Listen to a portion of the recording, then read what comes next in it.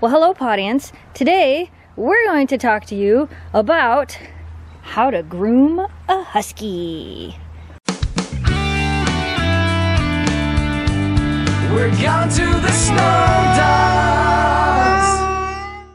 So, a question we get asked all the time on this channel is how do you groom your dogs? I'm going to show you the tools I use to groom our dogs.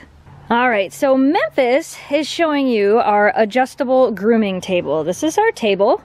One of the best things that I have invested in since I have three Huskies is a grooming table, the grooming arm, and this blower. This is an Air Force Commander Metro Vac blower. Best thing I've ever bought with having three Huskies. I will put Amazon affiliate links to all of the stuff I'm going to show you today. Memphis is like, are we gonna are we gonna play with the blower? Because I would totally do that. But this is basically my grooming station. I actually, when I'm grooming Oakley, I leave it against the wall there because it gives her some comfort. When I'm grooming the rest of the dogs, I pull it back so that I can walk around them. You want down? Okay, you're good. Go ahead, get down. Go on. There you go. So the table and the blower are not the only things that I use when grooming the dogs. Um, I also have an arsenal of, they're gonna play, of uh, brushes and combs and other things that I also use. The blower is really good at getting all of that loose hair out, but it's not the only thing you need. This is going crazy. So here's my basket of tools. I have a slicker brush. This is nice for getting their top coat to be nice and shiny. I have a Furminator, which yes, I do still use the Furminator. Um, I use the blower more, but I do still use a Furminator, and no, this does not cut your dog's hair. If used properly, these are a very good tool to have if you have a double-coated dog. This is probably, out of all of my brushes, my favorite brush is this undercoat rake. This is actually a double undercoat rake. And then I have this is the same thing, it's just for longer. This gets more fur out of Oakley than anything else. This is a shedding rake. It looks like it has little blades on it, kind of.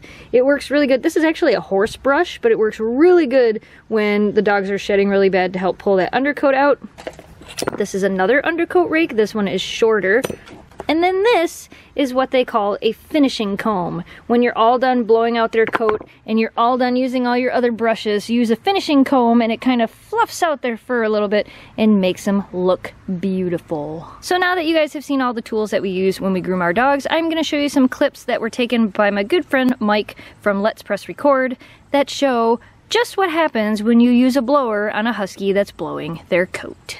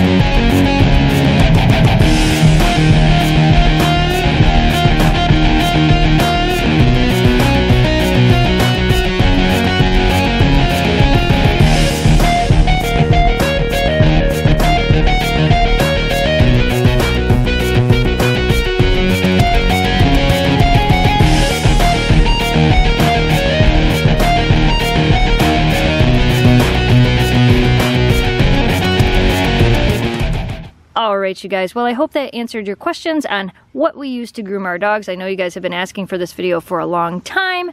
Those are the things we use. If you have more questions, go ahead and leave them down in the comments below and I'll do my best to answer what I can when I can. If you're new to this channel, don't forget to hit that subscribe button, like this video, and share it with your friends to help us grow the Pawdience. As always, you guys, thanks for watching, thanks for subscribing, stay positive, dream big, and we'll see you again soon. Want to say bye to everybody? You're walking around in this dirt, you're going to need a bath and a blowout pretty soon again anyway, huh? uh, goodbye!